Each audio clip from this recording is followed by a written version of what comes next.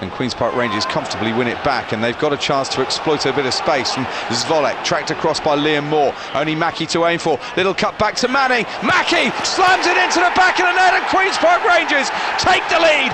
Manning swept it towards Mackie. Was it a little pass? Was it just a miss-hit shot?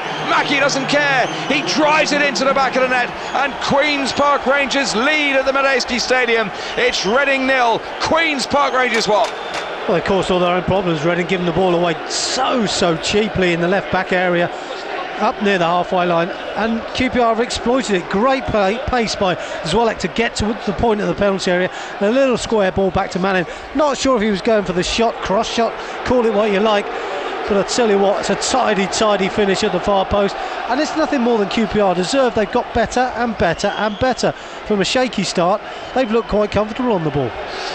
First goal since, of course, uh, returning from his injury, Jamie Mackie. His 20th uh, Queen's Park Rangers goal